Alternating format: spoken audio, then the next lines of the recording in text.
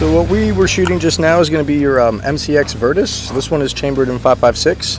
Forgive me, it does have a burn-proof wrap. I forgot what suppressor John has on here. This thing does shoot very nice. Um, it is paired with a Sig Sauer LPVO 1x8. Actually, it's a 1x10.